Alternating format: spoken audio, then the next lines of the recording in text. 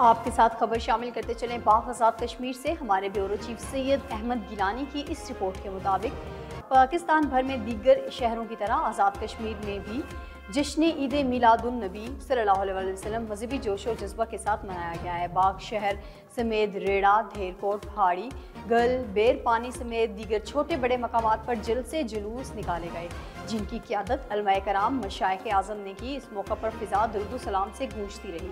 मुकर्रीन ने अपने खिताबात में कहा है कि यह माह रबी अव्वल है। इस माह की सबसे बड़ी खूबी ये है कि इसमें अल्लाह ताला ने अपने प्यारे रसूल सल्लल्लाहु अलैहि वसल्लम ख़ातमनबीन को दुनिया में मबूस फरमाया और मोमनों पर एहसान अजीम फरमाया।